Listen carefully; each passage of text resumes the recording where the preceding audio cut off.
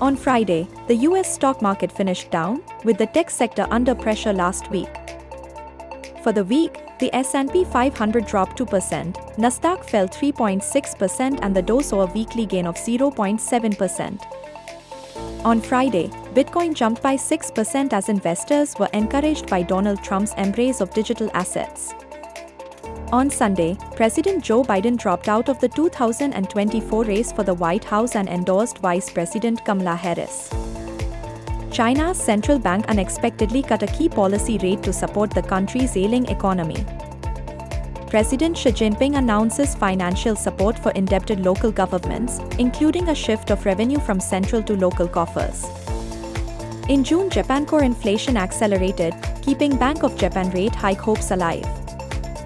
In June, Japan attracted record 3.14 million visitors as weak yen drew travelers.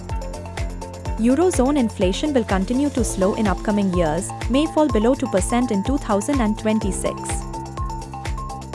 Nifty saw a weekly increase of 0.1%. On weekly charts, Nifty gained 0.12% but formed a bearish shooting star type pattern.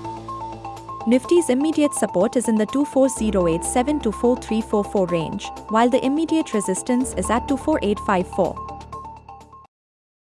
Investment in securities market are subject to market risks. Read all the related documents carefully before investing.